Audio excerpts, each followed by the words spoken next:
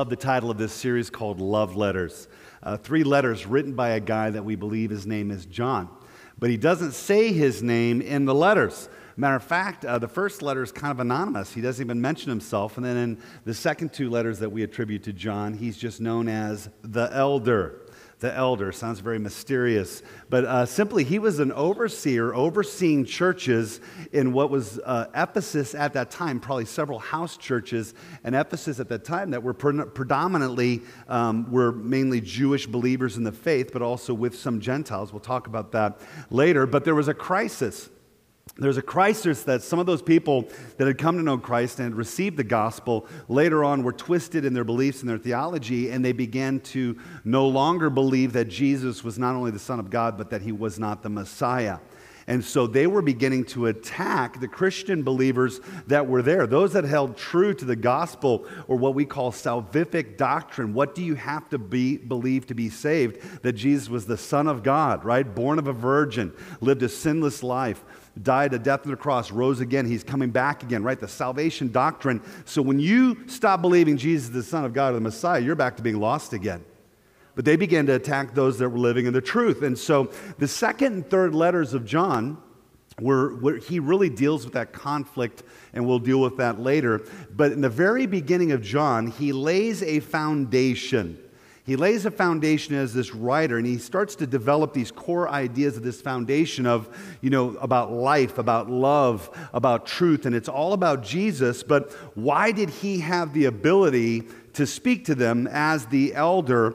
And uh, William Barclay, who is one of my favorite commentary writers, especially uh, Pauline letters, but I won't get into all of that. But he said, he, I like the way he breaks down the different truths in Scripture. William Barclay calls the opening of this letter, or the first four verses that will be our concentration, he calls it the pastor's aim, the pastor's right to speak, and the pastor's message. It's why a pastor does what he does why he or she has the right to speak and what that message is to the church. So it's not really the elder. Think of this guy as the pastor over these churches, and he lays a foundation of why you should listen to me, and then it's what he's going to tell them about. And I think you're going to understand very uh, clearly that he had the authority to begin to share everything else that we're going to hear tonight. But before we get to that, I have one question. You know how I like to have a question? Your job by the end of tonight, and I'm speaking primarily to those that are here in the auditorium, it is a question for you online as well, but you'll understand why it's more for the auditorium. Why are you here?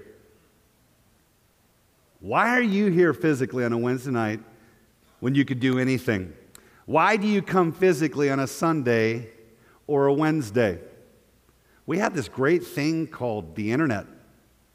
You can watch online. You can do things from the comfort of your home. I was just thinking about that. You know, when I was traveling, I was actually watching online in between plane flights watching the service. And I love that convenience. And I know that there's some that you can't get here. Uh, I'm thinking about Virginia. I'm thinking about some other people that are friends of mine that you can't get here physically because of uh, physical capabilities or snowbirds that haven't come. We got a couple from Iowa back already, but pretty soon the snowbirds are leaking back. I know that you're there at a distance. And there's some that can't get here because of traveling after work. I get it. I get it. I get it. But guys, you could be home.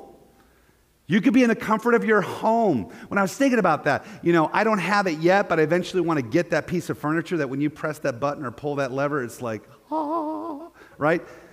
You could be watching reclined at home with a full refrigerator or whatever, stocked with whatever you want, yet you're here. Why?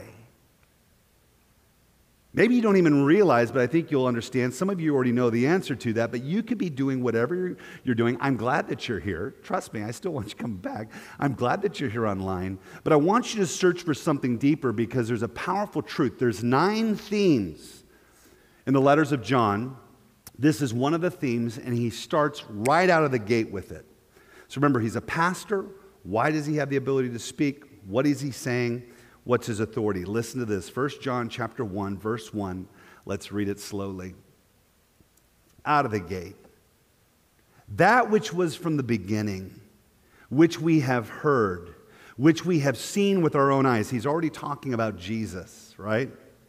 That which we've seen, he's seen Jesus with his own eyes, which we looked upon and have touched with our own hands. How cool would it have been to walk with Jesus and to touch him, just to give him a hug? Anybody else a hugger? How cool would that be? We're going to get to do that for eternity. I'm going to race you to him.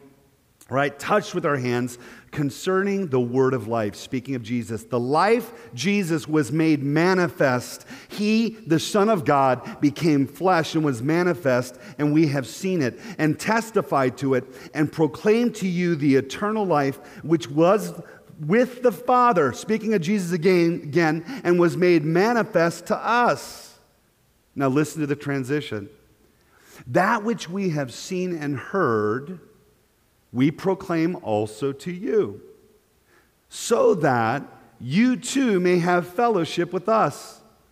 And indeed, certainly, our fellowship is with the Father and with his Son, Jesus Christ. And we are writing these things so that our joy may be complete. So, first thing I want to say, there's a lot about us and we and our. I want to ask you a question first. Is your identity found primarily in your individuality? Or is your identity, more importantly, being a part of others and a collective community? There's a lot of we and our language here tonight, and that others part, that others idea really isn't that popular in the Western culture. What is our culture all about? And I mean, I think we all have a little bit of this, you know, the id, the super ego. I'm not going to get into all the psychology and stuff, but all we know is this world as we've experienced it myself, and that's where we get our different perceptions. But we're, we're all about me, myself, and I, right? It's hard to be about others because our primary value is usually within ourselves. Our primary experience is within ourselves, and that goes against the expression of Western ideas, which is very individualistic. So, for us, I think we even need to hear this more the non Western cultures that I've been to that already think in a communal way, which we'll talk about that in a second. But our culture is all about me, myself, and I. Have you ever, anybody here, you've just been around other cultures that were not Western, that were already kind of more communal, right? They were more collective? Anybody, raise your hand, please tell me. Or you've been on vacation? Where you seen, I've lived in Hawaii twice, and I love Hawaii. Fort Myers and Hawaii. Come on, those are my two sweet spots, my two favorite spaces. I lived in Hawaii, and I'd be, when I had chances, I'd go down to the beach, you know, and I'd go bodyboarding. I can't just sit on a beach, I got to do something. So I'm either in the waves, I'm swimming, snorkeling, or I'm bodyboarding. And so I'm there, I'm taking a break, and here comes all the Asian tourists in Hawaii. And they came and they come in with this bus, and they park right there in this parking lot, and it's right by the beach. And instead of going to the beach, they go to this little hut, and then they put on these helmets and they start riding segways. I'm talking like 20 people in a row riding segways, and they're not even going fast. Like if I'm riding a segway, I'd be wow, wow. You know, I'd be hopping curbs and doing whatever. And they're all like, must be uniform, must, you know, follow each other. And I'm going, that doesn't look a lot like fun. I wouldn't be going to Hawaii to be riding segways. And I'm thinking, there, I'm, I'm analytical. There's got to be somebody in there like Russ that says, man, I want to be on the beach right now, right? I don't come to Hawaii to ride segways. Anybody else thinking that? They all can't want to go shop for trinkets at the same time. You don't see a lot of Westerners come together in big old groups and do the exact same thing. Why? I don't want to do that. I can't even get my wife to agree on the things that we should be doing. When we're talking about a vacation, the kids really need this, the kids really need that. I'm like, the kids don't need a vacation. Their life is a vacation. We, we need the vacation. Anybody know what I'm talking about? I'm tired of talking about others. Uh, for being for others, and I'm the pastor, right? That's just one family. But they were having a blast in their collective identity because we view it differently. There's something greater that can happen in the collective. Another one, I was a missionary in Singapore, uh, actually not through Assemblies God World Missions, but I was uh, hired as a youth pastor, and I just happened to be a youth pastor in Singapore. And you know what they do that we don't do? The entire church, we're talking the entire church goes on vacation together. Now, when I say entire, I don't mean every single one but the vast, vast majority of them, any one of them that can, and I'm talking 2,500 people, all getting on buses, going across the causeway into Malaysia. They rent out a whole hotel or whatever. You know, the, everybody. Look, you, how many of you, you know, you're happy to be with each other on Sundays, but you wouldn't think about going on vacation together? How do you get 2,500 people to collectively ask for leave at the same time when they're working probably in 400 different companies? Are you getting this? There's some other cultures that understand this truth more than we do that when you give up your personal desires to be a part of the greater collective good, you actually get more out of it than you think. We don't think we would like it. Can I tell you those church camps were awesome? Right? That just being together is awesome.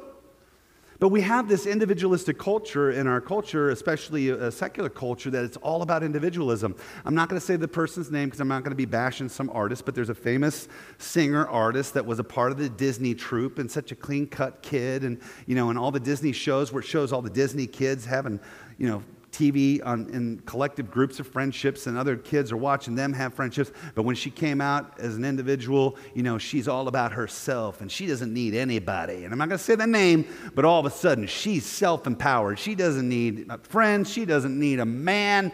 She's her own person. And our culture thought that's, oh, look how empowered she is. Look how bold she is. Look how brave she is. And one of my favorite uh, media uh, host basically pointed out that her last song was basically about how lonely, how broken, how much she needs people. And she openly just said, It doesn't work. Individualism and isolation sound great to those that have been hurt maybe sound great to those that don't want the complexities. You've been hurt, you don't want to try again, or you don't want the complexities of dealing with other people. How many realize that when you're dealing with other people, it can be a pain sometimes? It can be grossly inconvenient sometimes. Individuality is great when, you, when you're a control freak and you want to have your way. Who doesn't want to have their way, right? Because when you're dealing with other pe- free pe- people, they have free will, they have free opinions. They, they want to do, you know, it's like vacation with my family. Everybody kind of wants to do their own thing. So you have to work together. How are we going to all have fun together and refresh together, even when we're not doing exactly what we want to do? You almost all have to give in something. And there's so much volatility in our world and in our culture that I see more and more people, and I want to say COVID almost I'm not going to say uh, it was purpose, but COVID caused people to become more isolated than ever before. People have gotten into habits to where they just go to work, they go home, and they get on a screen. Right? I'll never forget when I, I got here, is right after the COVID thing had, most of it had blown over, and a man came up to me weeping.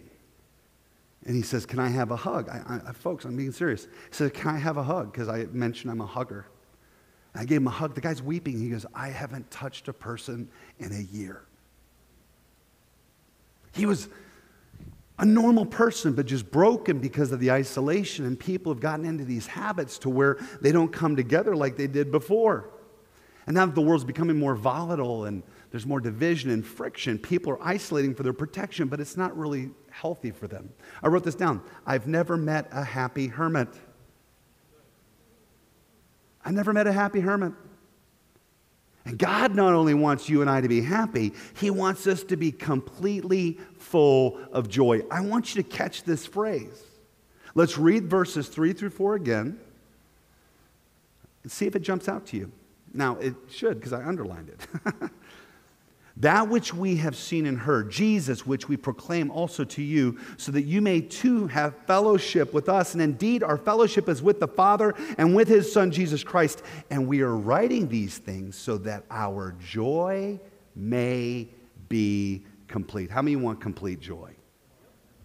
How many want full joy? I'm not talking about happy, right? Italian sweet cream in my coffee makes me happy but it fades quickly. Why am I saying that? Because another person in the church came up and goes, What's the brand again? My wife got the wrong one.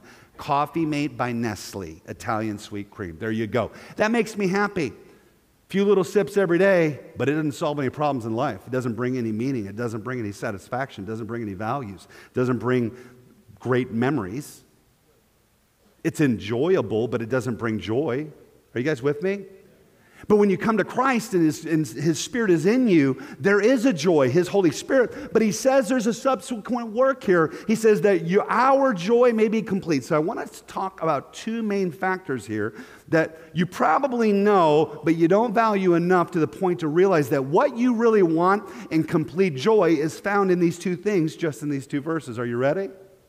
Here we go. Your joy will be complete when you show and share the love of Christ with others. John is writing here later in his life to this church, and he knew God and he knew God's joy. What brought him joy? He was basically saying, testifying about Jesus Christ testifying, telling you about Jesus, and writing all of these things that I'm about ready to write to you in this entire letter because I've seen him, I've touched him, I've experienced him, I know him. He's the way, the truth, and the life. We just heard about that. He brings salvation, He gives eternal life, He connects you with the Father. He's everything. And it makes me so happy to write these things to you. Yeah, there's things in the flesh that make us happy, but this joy right here, the Greek word is chara. What's the fruit of the Spirit? Agape love, and agape love gives you chara. He's saying it's a spiritual joy. You can't get what he's talking about because he uses the word chara, which is only for the divine. So, your divine joy in Christ will be complete when you show and share the love of Christ with others. It's not just in the revelation of who he is for you, it's that you get to share him with others. How many of you love when you get good news? You like I joke about the food things, and I could tell you another favorite food place that I go to. You guys want to know? Okay, you don't want to know. It's bento fu in the forum. All right, there we go. Most of them are going to be Asians, so just you better start eating Japanese if you're going to hang out with me, so or, or Asian food. But regardless, I mean, that can give you some happiness, but he's saying that there's a spiritual joy. But I get excited when I share anything good with somebody else. Do you know that the best evangelists in Christianity are newborn Christians? Man, they come to know Jesus. I can tell you story after story of ladies that have gotten saved and are back there, a part of uh, the Women's Connect where my wife, Pastor Carrie, is leading. And they come and they're like, Jesus is awesome. And nobody has to tell them, you should probably tell people about Jesus. Do you know that it's commanded in Scripture? They don't even know that yet.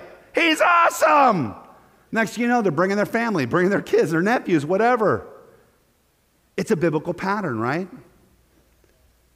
Simon Peter didn't know that Jesus was the Son of God. He didn't know that he was the Messiah. His lesser known brother Andrew told him. In the very beginning, Andrew came to his brother and says, We found the Messiah.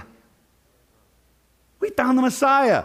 Then later on, when he declared it, Jesus says, Man has not shown this to you, but my Father in heaven. In other words, now you don't just know it cerebrally because your brother told you, now it's in your spirit. Right? But Andrew had already told him that he was the Messiah. After he was resurrected from the dead, Mary Magdalene, fastest woman runner in history, goes back to the disciples, and what does she say? I've seen the Lord. He's risen. Whoa. Man, can you imagine being the person that gets to share, the first person to share? He's resurrected. Because without resurrection life, we have no hope. You didn't have to tell them. When you've got the joy of Jesus, you want to share them. There's a lot of people that are Christians that lose that, and we have to maintain that spiritual fire, that passion. And I'm going to tell you this part of it's just having a fresh revelation of Jesus.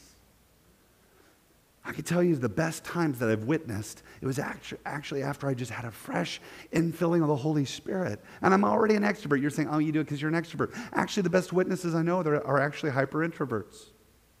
Because you know it has to be the Holy Spirit to help them. I can do it in the flesh all day long because I just like talking to people.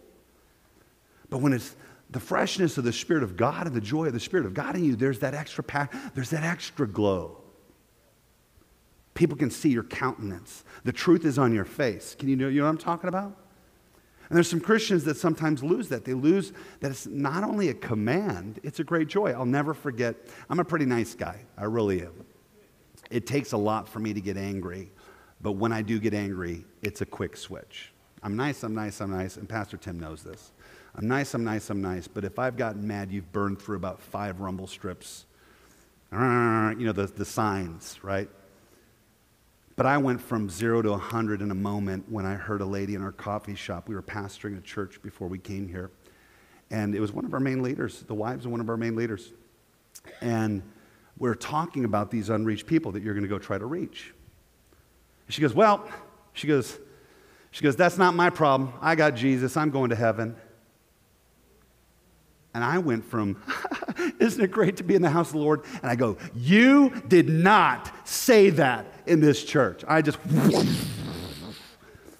I realized I don't want anybody to ever think it's okay to let somebody die for eternity. People are shocked because I'm Mr. Nice Russ. And I'm like, ooh. I said, somebody loved you enough, and I just went off. Somebody loved you enough to point you to Jesus.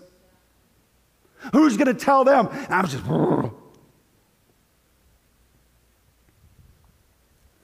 it's a command. Came up with a line when I'm pastoring here. You're going to hear it several times. Hell is too hot. Eternity is too long. And the kingdom of God is too important to not take these things seriously. It's not an option. Jesus said, Go. He didn't say, Wait until you feel like it. He says, Go, make disciples of all nations, tell people about me. He says, Go, but don't go until you've been filled with the Holy Spirit. We talked about this this last Sunday. But we shouldn't do it out of obligation. We shouldn't do it out of guilt. We shouldn't do it out of religious rote. We should check ourselves. If we don't have a desire to share Jesus, maybe we're not full of His Holy Spirit. Maybe I'm talking to myself too. I don't feel like it every single day. It's not a profession. He's speaking from his own personal encounter, but he's writing as a pastor. But can I tell you, God's called every single one of you to be like a pastor and a shepherd to somebody else. He's called every single one of us, you online as well, that we're to be encouragers. I look at Barnabas as the, I just love Barnabas in the Bible, right? He's the one I try to emulate, right? I think there's a lot of commonality there. But you don't have to have a title to be an encourager, you don't have to have a title to point the way. But do you have that pastoral heart? Do you have that passion? And if you don't, and it, there's all sorts of reasons why we don't do certain things, just say, oh God, give me more of you. Take me from glory to glory. Give me a fresh revelation of the darkness that I came from and the light that you've brought me into, and to the point to where we have that fresh lens and that fresh passion. Amen? Amen. Put this down. Some of the greatest joys I've had came at great inconvenience. It's not convenient being a witness most of the time. It can be a little awkward. What do you do to reach people when there's only 30 people out of a million that know Jesus? What do you do? You have to move there. See the picture? I was hoping that was sand by a beach. No beach. This summer that we just had, they get that year round. How many think that's convenient? And they're from Minnesota. I was just talking to them earlier. It's funny. They said, Yeah, our friends from Texas are actually missionaries in Russia.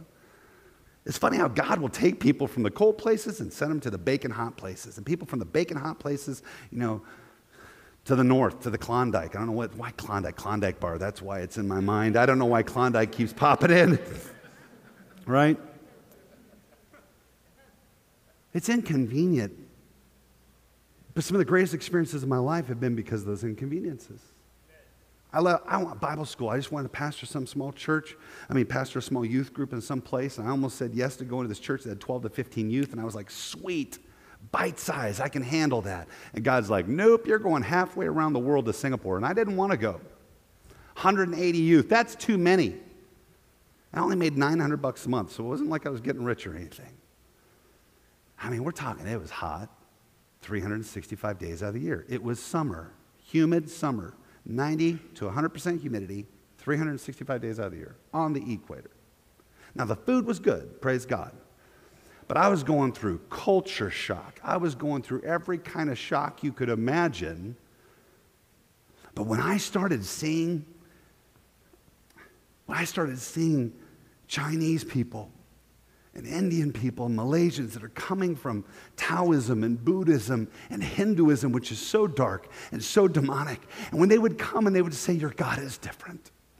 Just sensing his presence in the atmosphere of the worship, your God is different. Your God is kind to the kids. And I would, uh, our youth, and I would see these young people, and I'd see a, a, a girl from a Malaysia that we had to help rescue from her family. She gave her life to the Lord, and they were going to kidnap her and send her some really strange place, you know, to try to force her to recant her Christianity, and she had to be taken in by another family. But I'm watching the joy of the Lord hit their faces. You think I had a regret? No! It was awesome. You give up a little bit to get so much more. Amen? That my joy, some of the most joyful times of my life, was actually halfway around the world or in some island in the middle of nowhere, in some hut. They never had electricity, running water, nothing. But they don't, they don't get to hear preaching on the Holy Spirit. And you're preaching on the Holy Spirit, and boom, in that hut, the Holy Spirit happens. And people that would never come to church are sensing the Holy Spirit's presence walking by, and they come in, and I can't even speak the language. Other people are leading them to the Lord, but I got to be a part of that. You think I had regrets? Yes, my back got destroyed on those horrible, they weren't even mattresses. It was horrible. Imagine dinosaur bones and putting some egg foam on it, and that's what I slept on. Just stretch in the morning, it'll work out. I wouldn't give up those moments for anything. Anything. I'm kind of being more pastoral than I'm teaching. Sorry about that. But I have countless stories seeing people find salvation, find their identity, find their calling and purpose, finding their community. God's word says that when one of them comes to the Lord, not only will your joy be complete, right? Not only will there be greater experiences of joy that we get to have together when we do this, We've heard it so many times, but it says all of heaven rejoices when one person comes to know Jesus Christ. But don't you understand? They're experiencing complete joy already. So they're already having effervescent, overflowing joy. It's euphoric, it's unbelievable. And then all of a sudden, I don't know if they're able to see on earth what's happening, that we're surrounded by a great cloud of witnesses. I don't know if that's what it is. I don't know if there's an angel that says, Hey, everybody, another person gave their lives to the Lord, and then, and then they rejoice because they get it.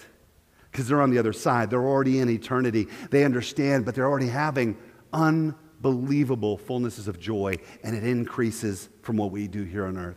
That's how important it is. That's how exciting it is. And yes, there's inconveniences. Yes, we can go through pain. I, I, shared briefly in one of the two services Sunday, there's one of our, our church members, if I said their name, almost most of you would know them. And the person was in the hospital, having to get something done. And when I was working on my message on Sunday, I was able to take a break, go, go visit, come back. And all they're doing is talking about all the people that they got to talk to about the Lord, nurses praying with, other patients, you know, and this person's going through a lot of pain. And I was like, that's pretty cool, right? I mean, you guys have only been here 18 hours and this is all happening. And the wife's telling me, da da da da da da da da. And I've never seen her so talkative in my life because she's actually pretty quiet most of the time. She goes, I'm actually kind of amazed because I'm really an introvert. I said, but yeah, but you keep growing in the Lord and you have a passion in Jesus, and look how stoked and excited you are right now. So, fast forward, I go preach Sunday. Monday, person's still going through it, has to go through a procedure, comes out of the procedure. And what are they doing? You know, when you come up out of a procedure and you're in that like waiting room while you're coming off the drugs, whatever it is that they put you under with? Post op, when the guy's supposed to be recovering, he texted me, lots of witnessing for the Lord going on here. lots of witnessing for the Lord going on here. If you ever come up and you're like, man, I feel fantastic, and I got a captured audience and people in the beds around me. They're like, you know, I really think God allowed this to happen because, man, we've got to do a lot of ministry here. And what he's experiencing is one of the two biggest pains I've ever experienced in my life. I would say what it is, but then you would know who it is. I didn't ask his permission. So, number one, your joy will be complete when you share, show and share the love of Christ with others. Number two, your joy will be complete when you include others in your life, church, and friend group. It's not enough to point them to Jesus and connect them with Jesus.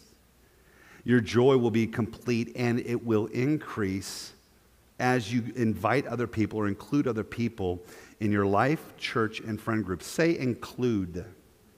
Say inclusive.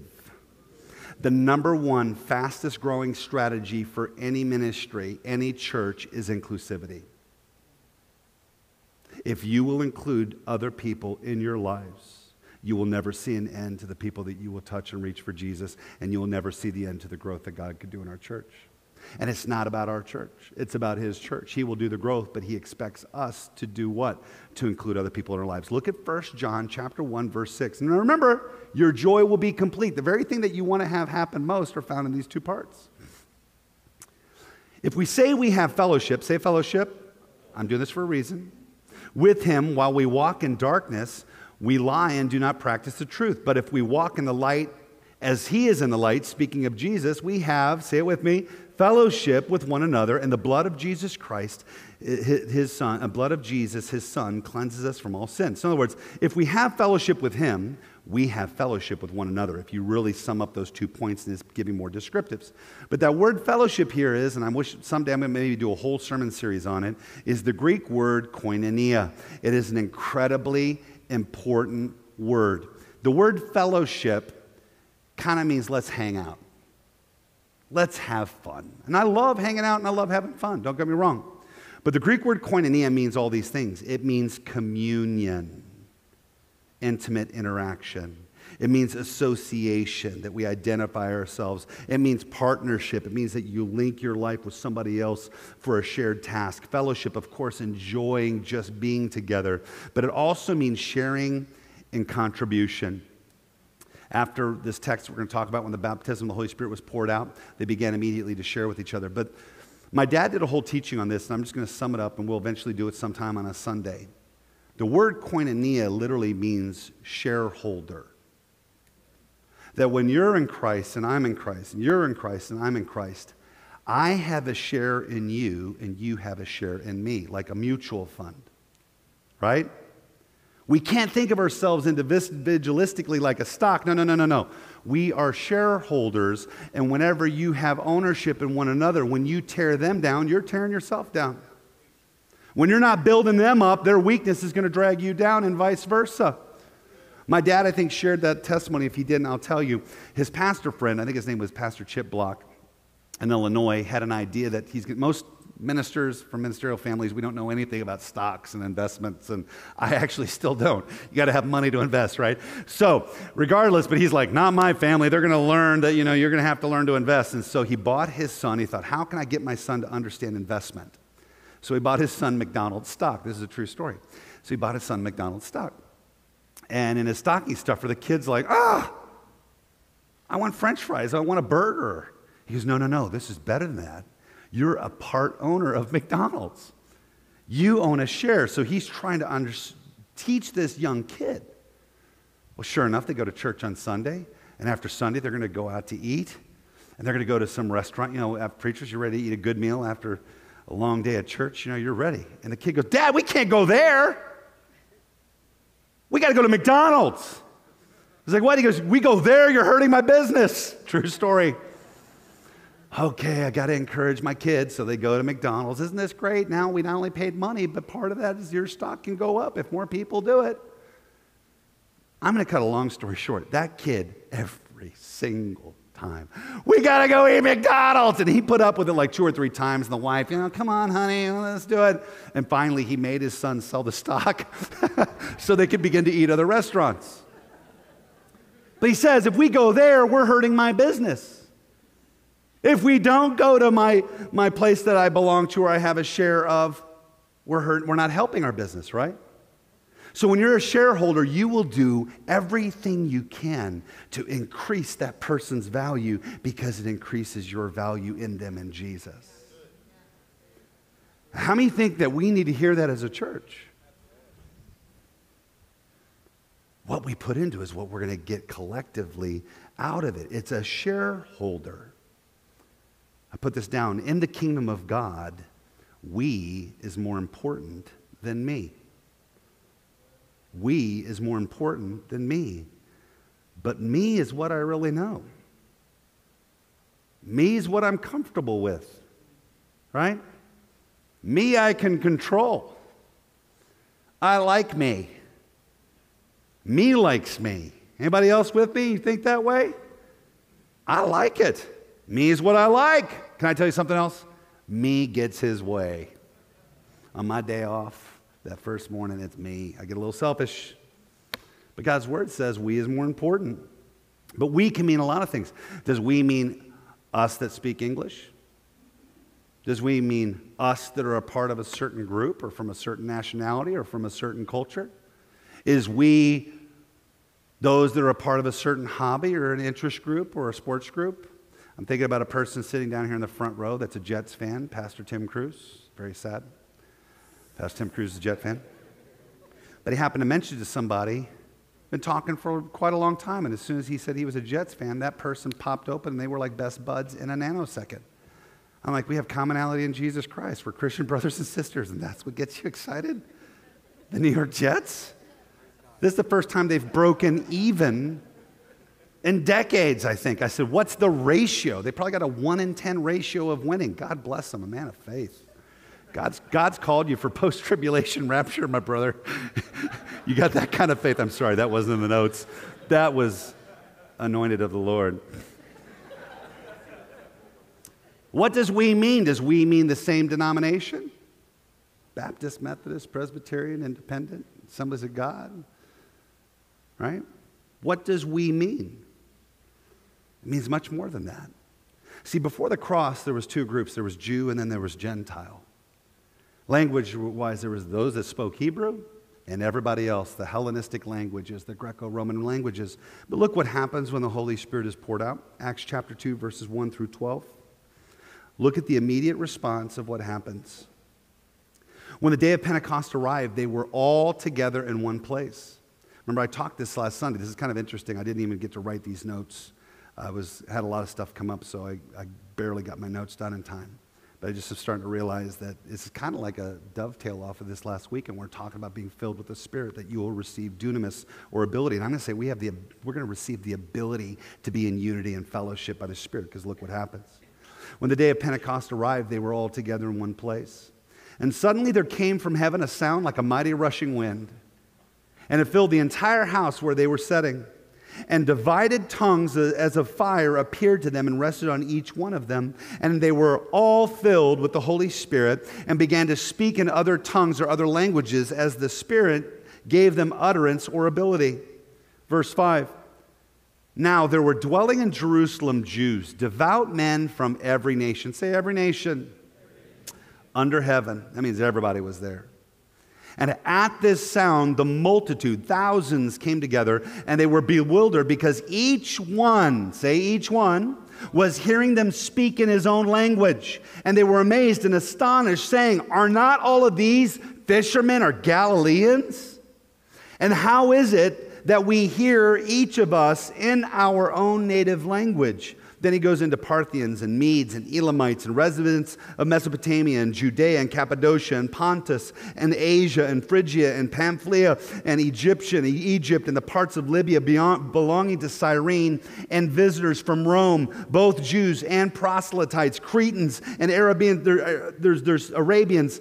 There's so much in here, but I'm not going to say it. We hear them telling in our own tongues the mighty works of God. And all were amazed and perplexed, saying to one another, What does this mean? And it goes on to saying that there was a prophecy of Joel that's saying there's a time coming and now come that all men, young, old, girls, boys, men, women, all nationalities, Everyone will be filled with the Holy Spirit. How many think that is awesome? But to be filled with the Holy Spirit, you have to know who Jesus Christ is, the Son of God. And so, in their languages, God supernaturally empowers these people full of the Holy Spirit who would have thought it's all about us Jews that speak Hebrew. And the first thing that God empowers them and enables them is to witness to people that they thought were less than themselves.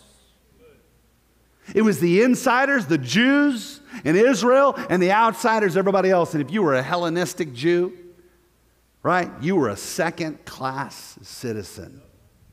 I don't have time to go into all of it, but God, by the Spirit, made them testify to them of the wonders of God and witnessing about Jesus Christ. Is that not amazing? But guess what else happened? Other people are like, these people are drunk. Go read it. Because they're having such a great time.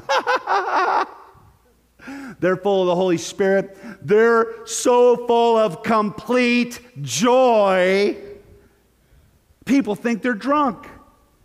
He says, How these people aren't drunk like you suppose? It's in the morning. This isn't inebriated, uh, foolishness drunk that the next day you're like, Oh, why did I do that? No, this is the kind of joy that it just keeps getting better.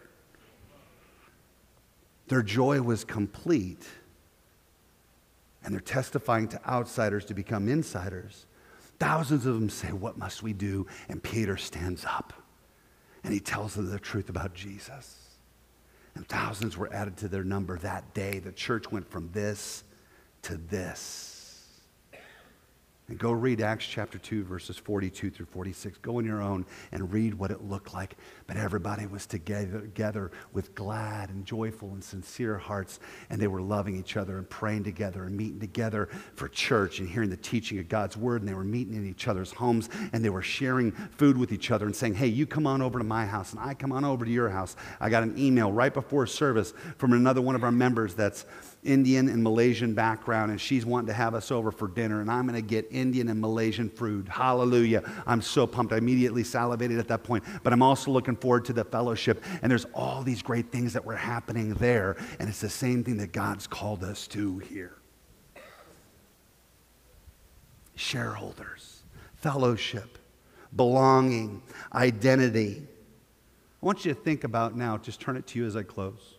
What are the most memorable moments you've had in church with fellow Christians in the body of Christ? Think about it right now. What are the most memorable, happy, joyful moments that you have? And I'm sad to tell you, it wasn't when the preacher was speaking. Most of you can't remember what I spoke last Sunday. Doesn't mean that you didn't absorb it. It becomes a part of the God's word becomes a part of our value set. It becomes a part of our paradigm. It becomes a part of us, right? How many can remember that many messages? You've, some of you have heard probably a couple thousand, three thousand messages in your lifetime. You might remember a phrase here or something there. What do you remember? Why are you here? You can watch this online if you're willing to thank you online. You could be doing anything, and yet you're watching this and you stuck with us. I'll tell you why. Two main reasons for me worshiping with you. Besides, it's my job, and I'd be fired if I didn't show up quickly, right? I'd get fired pretty quick if I didn't show up. But I love Sundays. I love Wednesdays. Why? Because I get to worship with you. And my joy is complete I experience a greater sense of God's presence. There's times that I've come and it's been a tough week, or I'm just, I got a message I'm just not feeling, and then boom, I worship with you. I'm ready. Because of our collective worship, and God inhabits our praises. And He made it to where if you want more of His Holy Spirit, you get together with two or more, and He will show up. It's talking with you out in the foyers talking with you in the portico. I had some people, oh, the portico's never going to work. I said, watch. Had a couple naysayers. No, it's not going to work. Horrible idea. It's too hot. I said, nope. I said, wintertime, it's like Hawaii here. I said, in the summertime, you watch, there'll still be the vast majority there. And every Sunday, even when it was hot, sticky, sweaty, people are hanging out forever. Why? It's just an excuse to have koinonia.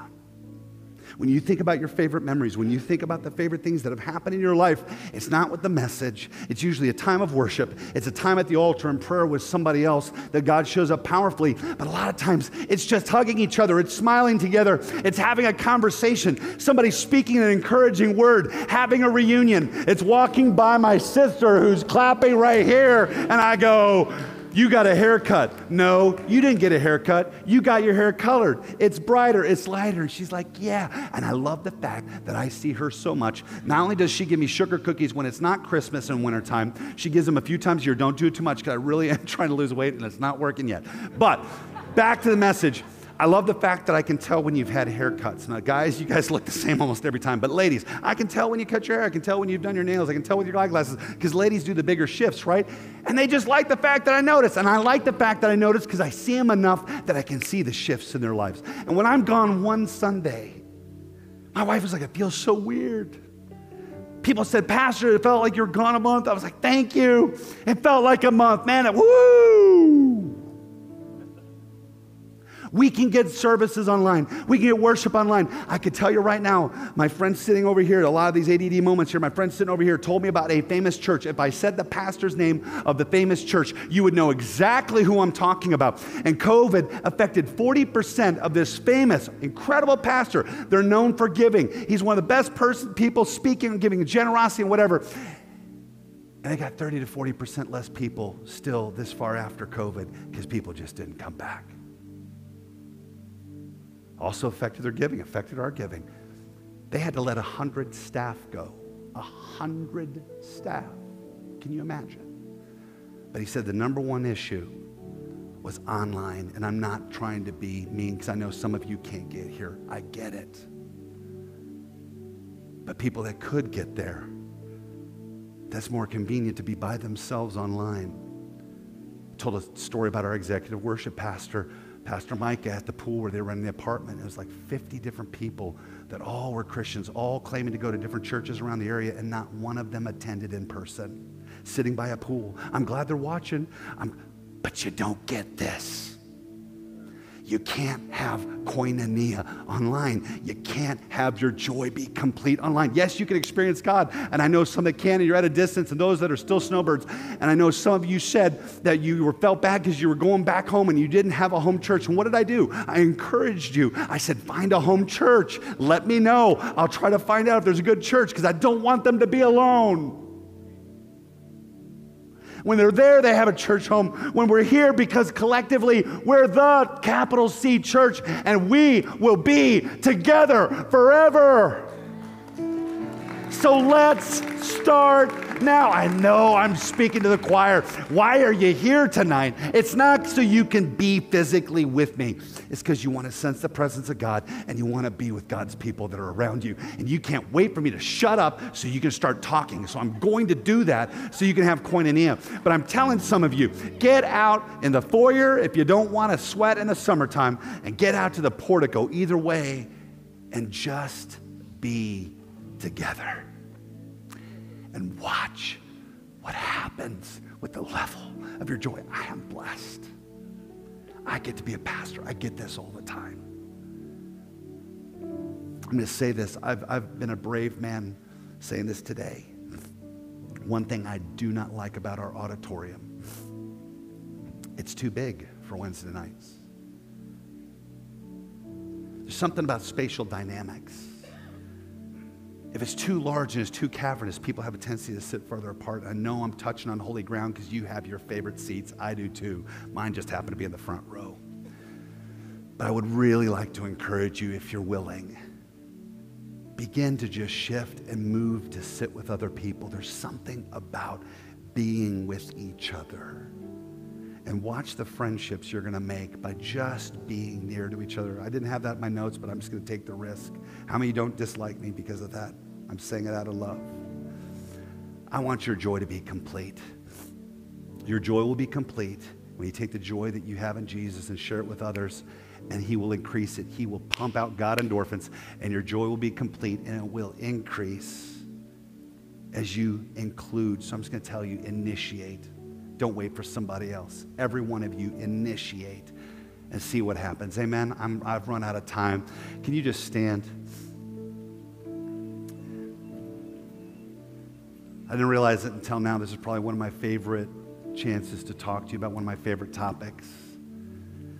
I know so many of you, and I love you, and I love my relationship with you, but some of you don't know each other, and you've got treasures sitting around you. Some couldn't get here, but you're here on Sundays. You got treasures sitting around you. If you don't know any, anybody that's around you, go initiate Don't wait for them. You be the better person. You make that initiative. Hi, how, how are you? What's your name? My name's this. Tell me your story. Da, da, da, da, da, da. You want to get the best ice cold brew and the coffee? Let's go out to the portico. Let's talk. And I'll be out there and I'll introduce you guys to each other and I'll do whatever I can, but I can't do it all. Amen?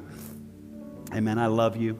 I want your joy to be complete. I pray that you would just process this, pray about that. But let's just invite the Holy Spirit to do that fresh work once again, that we would just be free in the love of Christ.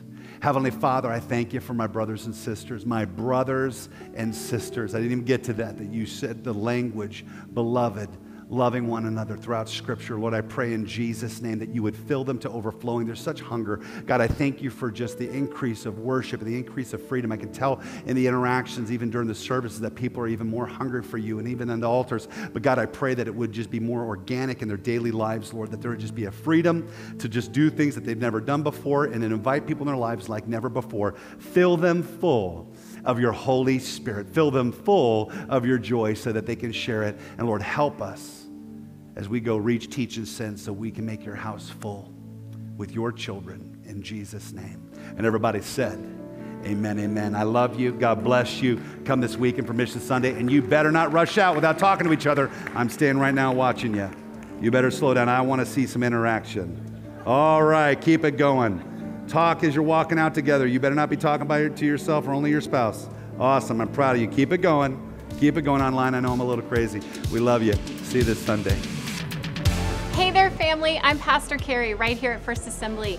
Thank you so much for joining us and being a part of our service today. I just want to encourage you on your journey with the Lord, and I want to take some time right now and pray for you. Lord Jesus, I just thank you so much for every single person that's watching. God, I pray a blessing over them. I thank you for your presence in and through their lives. And I, God, I pray over the word that has been spoken, Lord, that it would not return void and not return empty to them. I pray a blessing upon their week and in everything that they have going on. In Jesus' name, amen. If you have any questions about today's service, please feel free and visit our website at famfm.com. We also have an app, so feel free and download that as well and visit our social media pages for more updates on what's going on here at First Assembly. Again, thank you so much for joining us. It was so great to be with you. God bless you and have a wonderful week.